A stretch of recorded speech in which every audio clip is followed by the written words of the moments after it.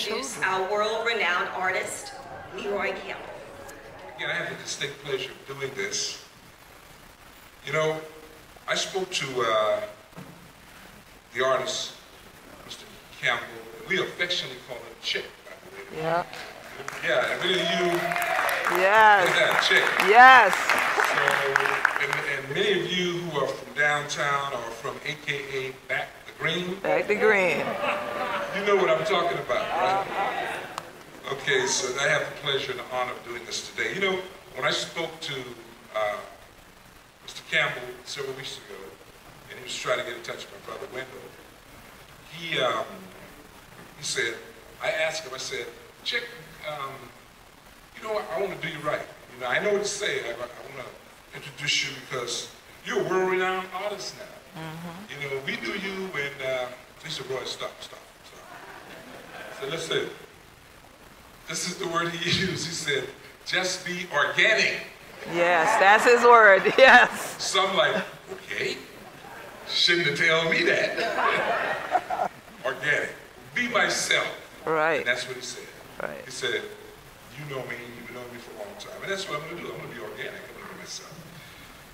So, with that, ladies and gentlemen, I've been knowing Mr. Leroy Campbell since 1977.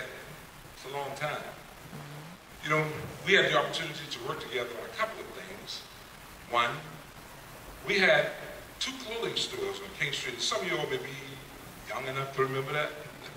But uh, we had uh, International Tops and Bottoms, and then uh, my friend Carl Curry and I had the Seventh Door, which ladies' clothing store. We were fortunate enough, we had a group back then that used to go around and advertise our product, our clothing. They were called the Fantastic Five. And, you know, we were beyond we, we were beyond our time back then because we would go to nightclubs, we would go to churches, we would go to community functions, and guess what? They would pay us to do it. That's how good we were. And my point is this. The reason we were that good is because we had people like Chick, Leroy Campbell, modeling our clothing. Chick put a spin on that thing, and and remember, uh, buddy, uh, William Cherry. And would you believe my wife was one of the models back then? No, I didn't know her back then. She was too young. But she was one of the models back, and several other people. But the point I'm getting at is, organically speaking, we go a long way back. I had another opportunity, number two. And you know, my dad used to tell me a long time ago, he said, Roy, always treat people good on your way up because you never know who you're going to meet, you know, throughout life. And that's true. Because I was in, I was in a position with a major Corporation, actually it was Burger King Corporation. Uh, I was director of operation for the Southeast region. And we were looking for something to do on Black History Month. And I'll never forget that day. I was sitting in, New, in New York with, remember Glenn, up at D and D Marketing. And they said, Roy, um, we want to do something and, uh, you know, Charleston's market has 60% of the share of all of the, you know, in that region. So we're going to give it to you. So that's me, you know. Anyway, long story short, what we did was we came up with a calendar and we needed someone to represent that calendar. And in that meeting, I remembered Jake. And I had a marketing representative that said, you know, I saw some of his work in New Orleans and Atlanta. I said, let's get the guy to do a calendar, 12 months of the year. And what we did then is we called Leroy Campbell, offered it to him, and he accepted it. And as a result of that, his work was showcased throughout the whole Southeast region in all of our restaurants. And I'm very proud of that chick because she did us a good job. I want to give you a hand for that. Again, it just goes to show you when we sit at these tables, we got to remember us. Us. amen. And we got a lot of talent in, in, in our community. And Chick, I remembered your work back then. You know what I remember it from? Because Leroy Campbell, you know, he and I had a couple of things in common. He worked with us, one of the men's clothing. So one thing about Leroy is he was always different. He, if you went right, until you guys went right, He went left. Chick was going left. And that's just the way he was. He was different, and you could scratch your head all you wanted, but when he came back, he had a, sustain, uh, a substantial product, and, a, and he had an idea that would go all the way. I remember when he, when we were looking for signs, and this is when I found out he could draw. And by the way, and I know he's not ashamed of this, but he has a disability on one of his, on his hands. Hands. His fingers cut off on one of his hands. Now, we would consider that as a disability. He was in the store one day, and he said, I said, we need to get the sign up because we got the sale going on. Leroy said, I'll draw it. I said, what? He said, I'll draw it. He took the posters in the back, and I, I, I'm telling you, he came out with some of the most amazing advertisement that we had ever seen. That we, everybody was talking about it, and that's when I knew that he had this special talent.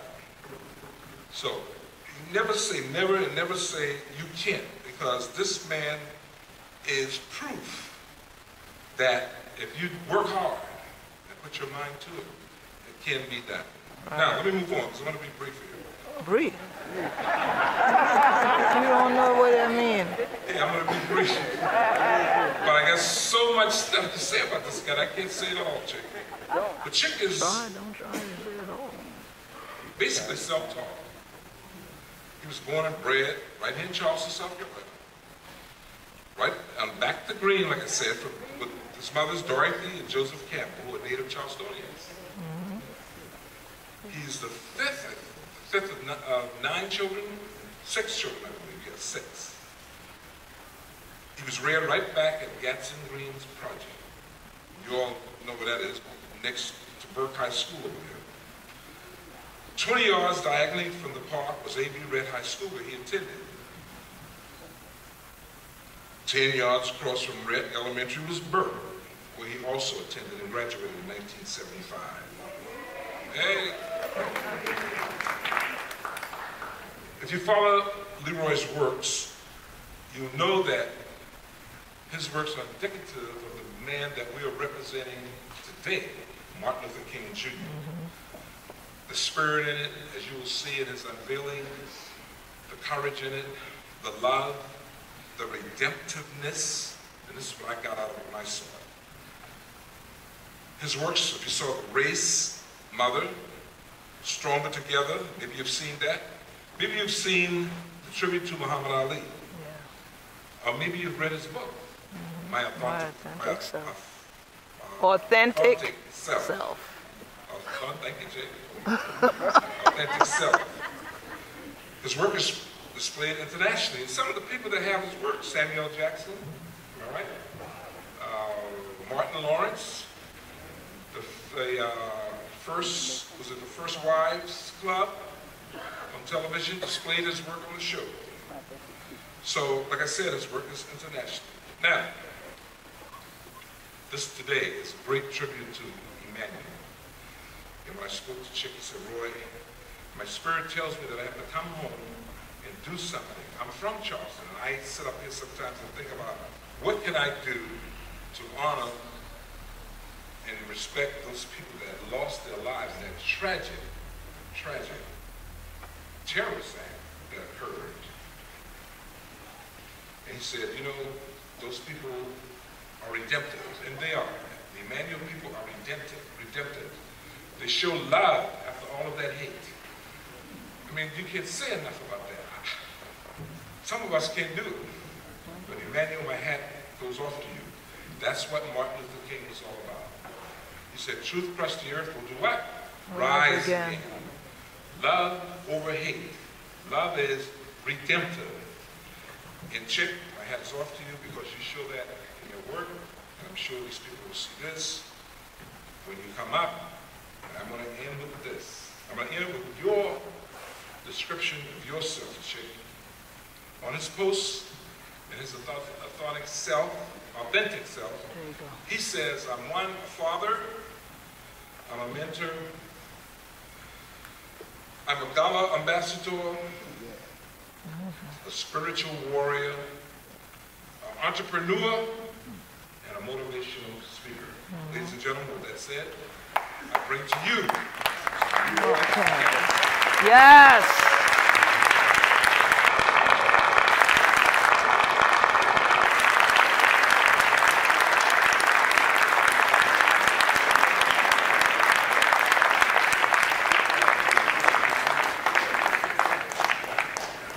Uh, greetings, to all. Uh, thank you for that. That was uh, that was heartfelt, man. It just reminds me that you know, even though we haven't seen each other in a long time, we just kind of picked up where we left off. And I love that. So give him a hand for that. That was beautiful. I love it. The last time I saw Wendell, uh, as he, as everyone, you, you know that we were modeling. His name was. Uh, hot sauce. Oh, wow. I, I, and I, had, I couldn't let him outdo me, so I was Tabasco. Go ahead. You know, but uh, my brother told me that I need to, to exercise the five B's of public speaking. Be brief, brother. Be brief. So um, I thought that. But wait a minute. Let me thank God Yes. for saying to me today what he said to me yesterday. Mm-hmm. Wake up, keep living, and keep doing my work. Yes. Whom all the thanks and praises is due. That is. Yes. Glory. So I thought the best way, and I'm gonna, not going to waste a lot of time, I thought the best way to talk about or to tell you why this painting, this innovative, multi-layered, mixed medium collage painting, why I call this piece Bible study. So are there color guards anywhere in the room? You know what? May I borrow two of you right now? Do you mind? Just two of you come. We don't have to wait for them. So I'd like to unveil to you this painting. You go on one side, and you on the side. When you finish, just take this, just remove this board and go. Bible study. So I'm going to take the time and break it down why it's called Bible study.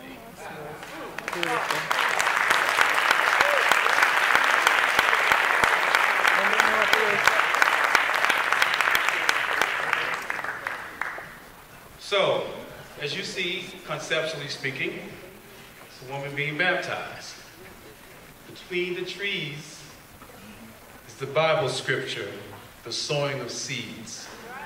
This is the scripture they were studying when the unthinkable happened. This is the documentary part of this piece. As you look about her dress, you notice there are black and white photographs of the Emanuel Nine. And next to each one of them are actual copy pages from the Bible. That is there to give the believers, to strengthen the believers' faith, and to help give the viewers understanding. Along with these scriptures are inspirational quotes to help give the Emanuel 9 a voice that gives us, or the viewers, direction. And as you can see, she's just been baptized, and you see a pleasure on her face. And to help her stand even more, these wings represent her ascending to her new beginning, her new way of doing, her new way of thinking, her new way of actualizing her new life. But we don't go through nothing alone. That's why you see these two men here.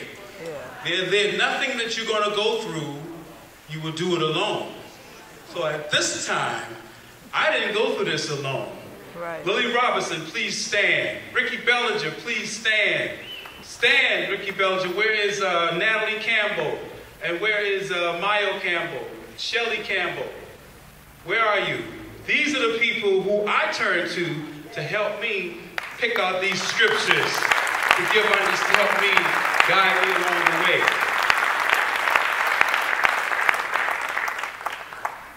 Sowing seeds. on fertile ground. 16th Street Baptist Church, we know that's happened before. Fertile ground, 1964, the day that Lyndon Johnson signed the Civil Rights Bill in the presence of Martin Luther King. Mm-hmm. Hello? And then you have a quote by Coretta Scott King, struggle is never ending, struggle is a never ending process. Freedom is never really won. You earned it and win it in mm-hmm. every Every generation. Each generation. generation has a responsibility to help move the needle forward. Yes. I want to do this piece not only because it hit home, because you see, the creative process started for me mm-hmm. while I was sitting in Emanuel worshiping the first day the church doors opened. And I don't know if I would have been in Charleston had I not heard my brother could have been Emanuel number 10. Mm-hmm. So I drove to Charleston to hug, to hug my brother and look at my brother. And so, but, but by the grace of God, I was sitting there, and while I was in that church, the pastor was doing a marvelous job. And it was then that I heard God say, you know, you got to do something. I said, yeah, I know. So the creative process started then. Mm-hmm. And I just finished it last month. You see. So I hope, well, my aim is that this piece will help continue to, to strengthen and heal the survivors, mm-hmm. the immediate family, mm-hmm. and the church family. And I hope that all who view this painting, because we want this painting to be in a prominent place, it will travel first, but we want Charleston to be its resting place. So I want, there's so many people in the world who feel this and love this. So I want them to see it. But my ultimate, ultimate goal is that I want to encourage you and all of you own your spirit.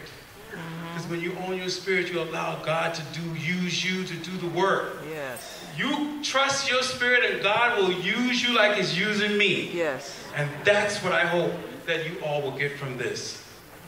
Amen? Amen. Proclamation. Whereas the great city of Charleston wishes to recognize one of, the- one of its most dedicated sons. And whereas Leroy Campbell was born in Charleston, South Carolina, and raised by his loving parents Gadsden.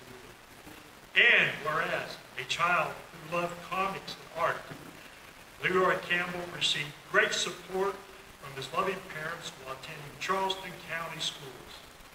And whereas, after graduating from Burke High School in Charleston.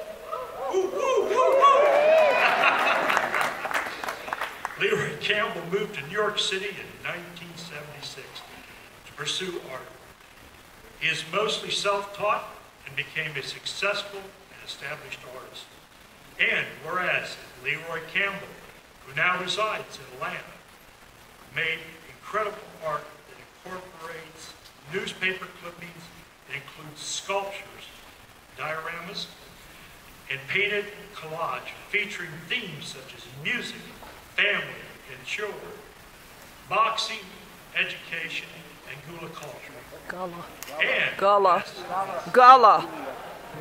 I said, It's Gullah. you know, I presented a proclamation, and then I did the same thing. I think I got run out of the uh, Stadium, yeah. Uh, the one you gave me. Dudley, you'll never let me forget that, will you, Councilman? And where, yeah, you messed up on that, that's right. And whereas for the 19th annual MLK Picture Awards, Leroy Campbell is unveiling a picture called Bible Study that pays homage to victims of the Mother Emanuel AME Church tragedy. And whereas this great city of Charleston wishes to recognize the immense contributions of Leroy, oops, Leroy Chick Campbell to the art and culture of our historic city, our state, and our nation through his inspiring network, as well as his gifts as an educator and storyteller. Now, therefore, I, John J. Tecklenburg, Mayor of the City of Charleston, do hereby proclaim Tuesday, January 31st, 2017, to be Leroy Campbell Chick Day. Campbell. Yes. Yes. Yes. All right. in the great city of Charleston, and thank you for contributing to highlight the spirit through the arts and commend his tireless dedication to celebrating diversity and community spirit through its work. Signed, John J. Tecklenburg, Mayor, great city of Charleston. Chick? Yes. We're not done yet. Got a key. Got a key. Now, I understand uh, Roy's got a bar tab at a local establishment, so it's an open tab there, chick. Okay, okay, Roy? Give me your credit card. But this is really, really special. For the first time we've done this, a key. Yeah, 'cause they told me they didn't have one before. Yeah. It doesn't get any better than this. It doesn't get any better than this.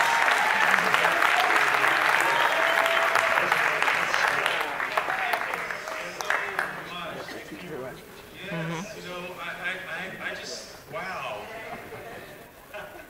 This. Yes. You Congratulations. can't tell me that there's not a God. And if you don't live by this life, this is it right here. We're coming back early next, uh, later this year, and we're gonna do more, and we want more of you to tell everybody about the good news and